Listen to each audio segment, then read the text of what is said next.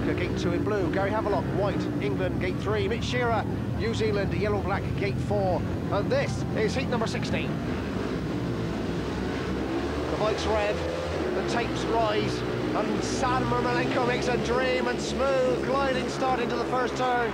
So Sam Ermolenko in blue leads. Yellow and black, Mitch Shirra in second place. Gary Havelock in white in third. And Glenn Doyle coming around the outside of Gary Havelock, it's fair to say is now back in fourth place and having a very, very disappointing afternoon. But America yet again leading with Sam Ermolenko. Mitch Shirra coming back into things. The oldest rider in the field, and I'm sure he won't mind me saying it, putting pressure on Sam Ermolenko. So Ermolenko now is going to have to watch his step is. Mitch Shirra gets a quad drive on the outside, takes the inside line on Sam Ermolenko, and it's through the first place. Mitch Shirra, the point-sized Sunbright kid, with one more lap to go, is through the first place.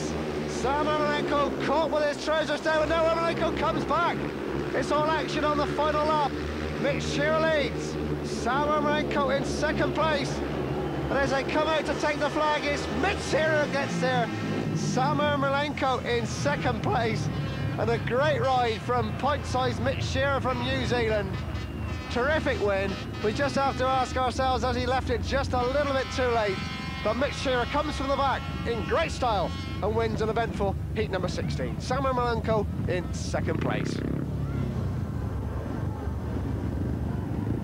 So we now look at the final four outings here at Bradford Salzwell Stadium as Mitch Shirra wins heat number 16. All the riders now got one more race to go, of course, in this overseas speedway final.